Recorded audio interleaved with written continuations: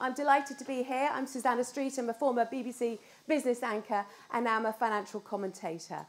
Just want to tell you about what's happening this morning. We are going to be bringing up experts and analysts here onto the stage, hear presentations and two panels to discuss just how food industry investors can engage with policymakers and try and drive really, really crucial change in the food system. Let me tell you a little bit more about the Food Foundation to start off with. It's a UK charity which aims to change UK food policy and business practice for the better. Its vision is a sustainable food system which delivers health and well-being for all. Following the first ever UN Food Systems Summit back in the autumn of 2021, the Food Foundation established its UK's Investor Coalition, which is growing pretty well. It boasts of 23 institutional investors and has six trillion pounds of assets under management. And I'm pleased to say that some of those investors are here in the room with us today. Let me just set the scene for the discussions and present you with some pretty stark facts, many which you will know, but when you hear them all together, it does take your breath away. The world's food system really is in crisis. More than 3 billion people can't afford a healthy diet.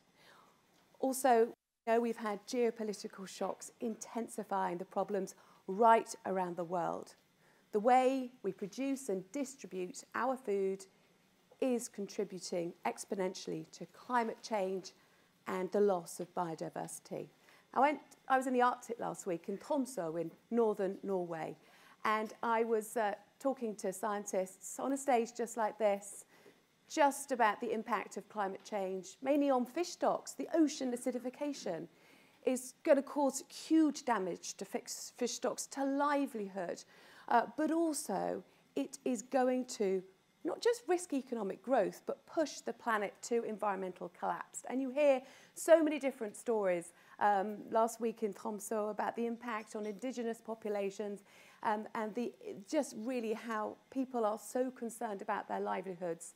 And of course, uh, the ice melting in the Arctic, which has real repercussions for all of us. But it's not just happening there, it's happening right on our doorstep as well of course. Uh, when you hear that 10 million people are living with high, high levels of food security, insecurity in this country, not knowing where their next meal is going to come from. And also when you realise that 50% of the living species that did exist before the Industrial Revolution no longer do so. They cannot be found here.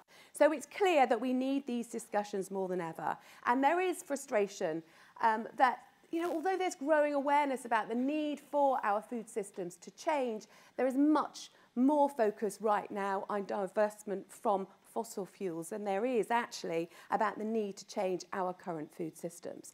So today, what we want to do is really shine the light on what's what we need to happen to raise awareness, but ultimately, really ensure that capital is flowing in a way that protects the planet not destroys it. So we're going to hear from uh, two speakers. I'm very sorry to say that, um, unfortunately, Richard uh, Walker, Managing Director of Iceland, can't join us for personal reasons. However, Stuart Lendrum, who is uh, the head of product and process at Iceland, will be giving his speech and welcome Stuart to be talking to you a little bit later and he'll be delighted to take questions as well. We'll have two panels, uh, but first, uh, to really underline more of the threats that the world is facing right now. I'd like to welcome to uh, the stage Professor Tim Benton, Research Director for Emerging Risks at Chatham House, and he's going to talk about how we may have reached the crisis point of no return. Welcome, Tim.